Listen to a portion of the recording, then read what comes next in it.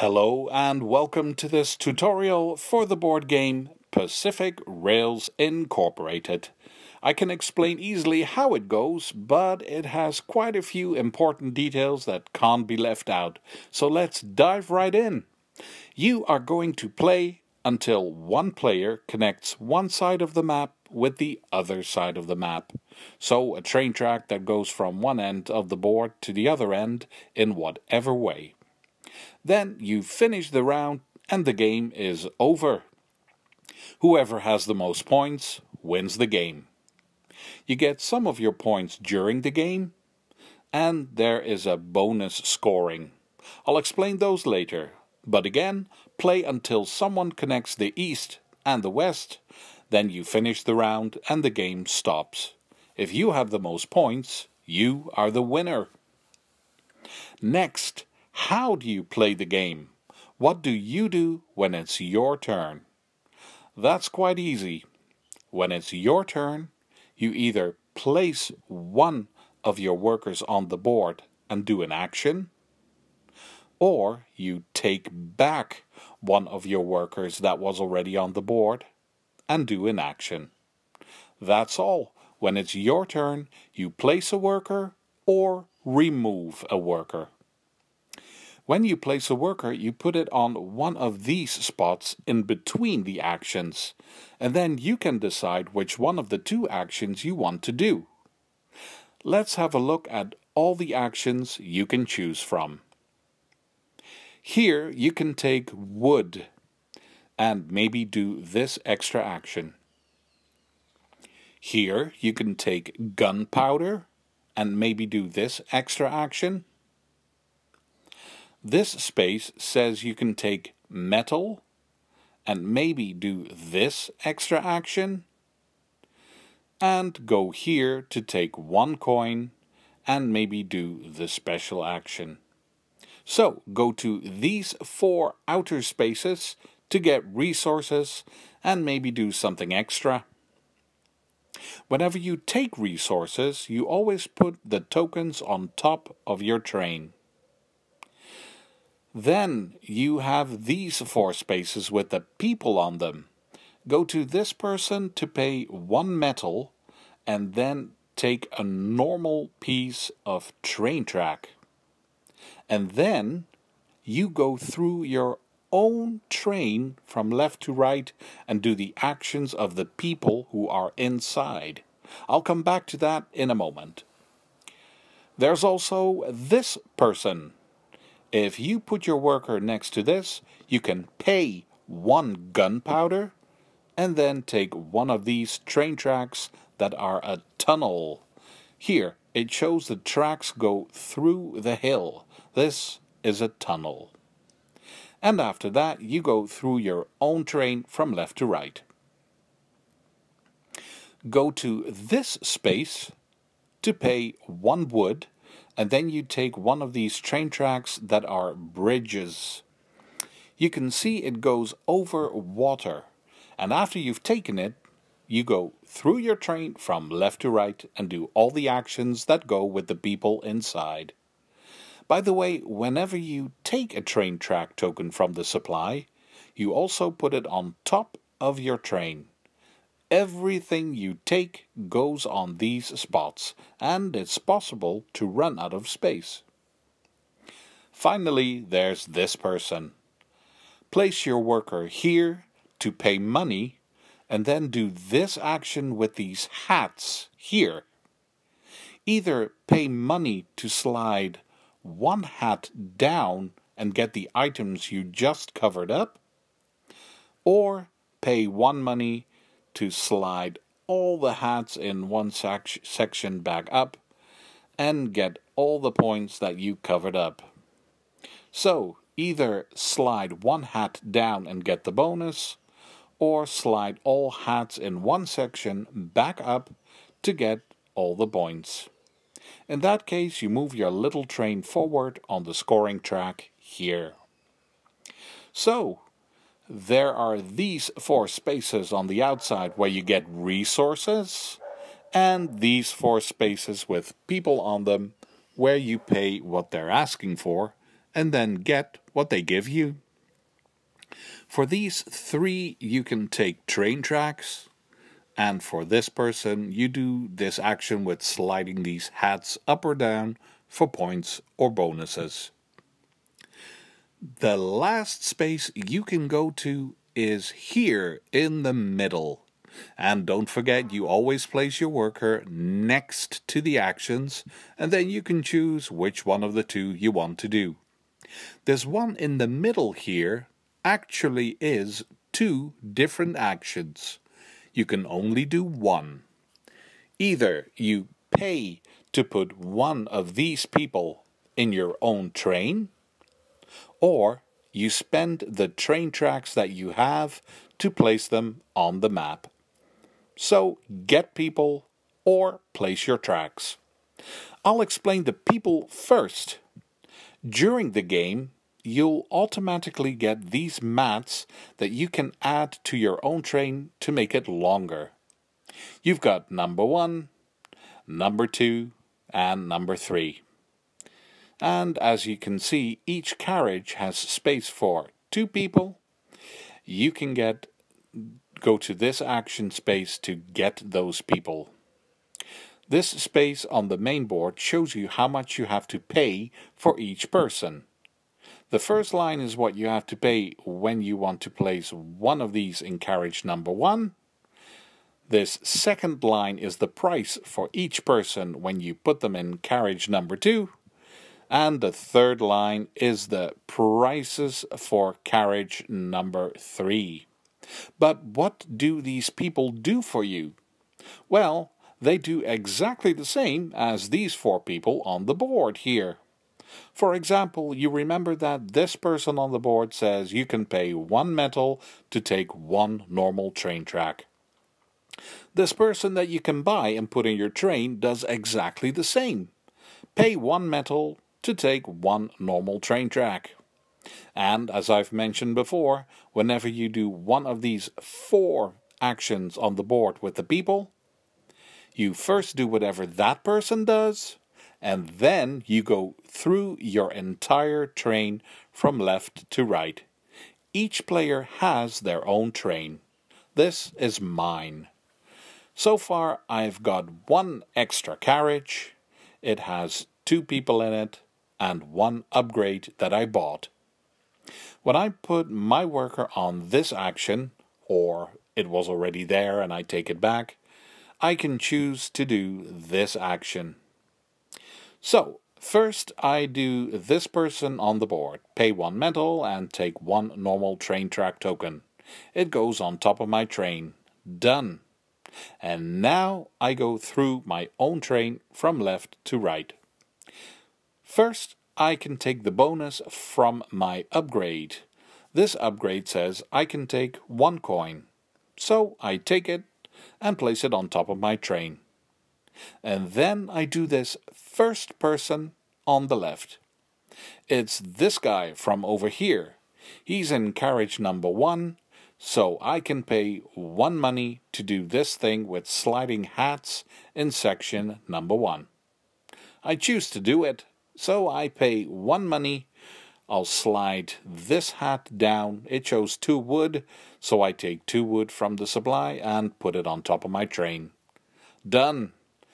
And finally, there's this last person on my train. It's this guy that says you can pay wood to take a bridge track. He's in carriage number one, so I pay one wood and take one bridge it goes on top.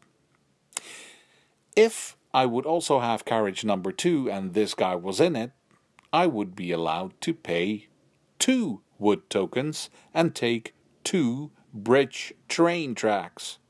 Same goes for the other people. If they're in carriage number one, you can do it once. In number two, you can do it twice. And in carriage three, you can do their actions three times. But that's it. This is why you try to get carriages and people in them. Because every time you do one of these actions with the people on them, you go through your entire train. A step back, I told you that this space in the middle is two actions. So one of them is getting one of these people on your train. The prices are here. And the other action is this one. Put your tracks on the board. When you've got enough pieces, at some point it's time to place them on the game board. Placing the tracks is easy. The scoring is a little tricky. Pay close attention, here we go. When you place your worker here, or remove it, you can choose to do this action to lay down tracks. 1. You must go from where one of your trains is to another city. You must go to a city, otherwise you are not allowed to do this action. Two, if you want to go over normal land, you use a normal train track. If you want to go over water, you use these bridge tracks. And if you want to go through these brown hills, you have to use the tunnel tracks. You can't place tiles on cities, and you're not allowed to go on spaces with these white mountains. 3. You can place your own tiles, but you are also allowed to use tracks that were put there by another player. No one owns tracks. Anyway, when it's your turn and you do this action, place your tiles on the board. When you're done, you must place one of your own buildings or one of your telegraph poles on the city. Each city can have only one building and one telegraph pole. And they're not allowed to be from the same player. They have to be two different colors. If you can't place one, you can't go there. 4. Scoring. This is how it goes. First I'll show you an easy one. I place my worker on this space to do this action. My little train is here, and here is a city. So I place my train tiles on the board. Don't forget to use the right tiles. Normal or bridges or tunnels. Done from train to city. This city was not connected, so I get two points per tile. I placed this many tiles, so I take my points and move forward on the scoring track. Then I choose to not put a building on the board, but one of my telegraph poles. I have to take the token that is on the lowest space of my own player mat, so this one. And that says I get points here. So I take my points and I place my yellow telegraph pole on the city. I end my action by moving my train to the city. That's easy scoring. Now let's make it a bit more complicated. I'll pretend I wasn't here. Another player went here before me, so this city is already connected. When it's my turn, I go from my train to this city. Because this city was already connected, I don't get two points per tile, but one point. And since the other player has a token already on this city, that player gets three points. It's also a telegraph pole, so that means I can't place mine, but I have to place something so it's going to be a building. I take one of my buildings and place it here. Done. That is how scoring goes. Also keep in mind that if I had had more tracks, I could have kept going further to the next city. You can make a track as long as you like, just as long as you end in a city and you have to place one of your tokens there. If you have trouble remembering this scoring, just take out the rulebook. A quick recap. Go to these four spaces to get resources and maybe do a special action. Go to these four spaces with the people to do their action and then all the actions of the people that are in your own train. And this space in the middle lets you either put people on your train or put your track tokens on the board for points. This is how you play the game. Some important details and then we're done. A very important one. Sometimes you can do an action more than once. If my worker was already here on this space and I put another worker on this next other space to do the same action, I can choose to do it twice. So I can take two resources and do the special action twice. For the one in the middle, you could either get two people or do the track laying action twice. And with the ones with the people, you can do their action twice, but you can't go through your own train more than once. And what if all the spaces around the action are occupied by other players, but you still want to do it? Well, then you put your worker right on top of the action. Then you can do it. But the other players get their workers back, and they get one cowboy hat for each worker they removed. A cowboy hat also lets you do an action twice. And what are these special actions on these four spaces? To not make this video too long, look that up in the rulebook. It's all here in this one section. You could put houses on the board to get more resources or get these upgrades in your own carriage to get free stuff. And now finally I can get to the bonus scoring at the end of the game. The player who is the one that connects left to right gets 15 points. Then, for every train track that you still have on top of your train, you get one point. Also, look at this on the board.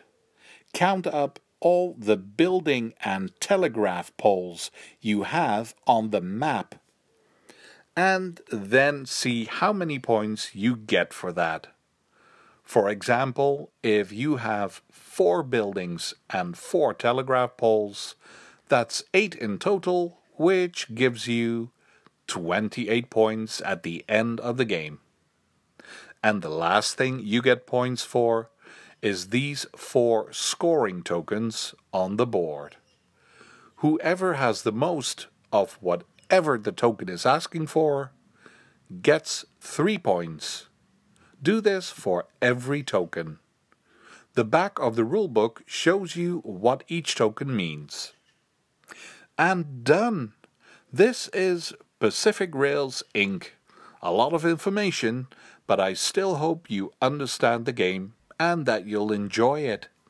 Thank you for watching this tutorial, feel free to leave a comment, and see you for the next one.